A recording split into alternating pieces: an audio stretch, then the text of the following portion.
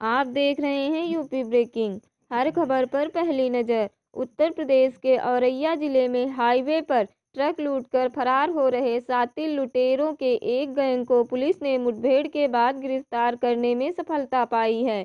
औरैया कोतवाली क्षेत्र की पुलिस को सूचना मिली थी कि भाऊपुर के पास हाईवे पर ट्रक लुटेरों ने चालक को घायल कर फेंक दिया और ट्रक लूटकर फरार हो गए।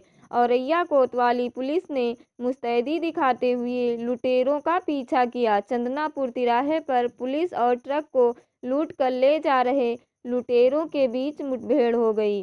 पुलिस ने सभी तीनों साथी लुटेरों को तमंचा में कारतूस व चाकुओं सहित गिरफ़्तार कर लिया। पुलिस की पूछताछ में लुटेरों ने बताया कि गेल इंडिया से प्लास्टिक का दाना डालकर आ रहे चालक ने ही उन्हें लूट की योजना बताकर बुलाया था, लेकिन पैसे के बंटवारे में लड़ाई हो गई, इसलिए चालक को चाकू से मारकर घायल कर दिया और ट्रक को लूट लिया। फ़िलहाल पुलिस ने घायल चालक को अस्पताल में भर्ती करा दिया है। पकड़े गए तीनों बदमाश सतीश सिंह राहुल कुमार और देवेश इटावा ज़िले के निवासी हैं। औरैया से जाहिद अख्तर की रिपोर्ट। ताज़ा खबरों के लिए सब्सक्राइब करें यूपी ब्रेकिंग। के लिए इनको 26 जनवरी की परेड पे सम्मानित भी किया जाएगा। सर क्या जो पकड़े गए हैं ये बदमाश इनके खिलाफ और भी कई मुकदमे चल रहे हैं? इनका अन्य जनपद के डीसीआरबी से भी रिकॉर्ड खंगाले जा रहे हैं।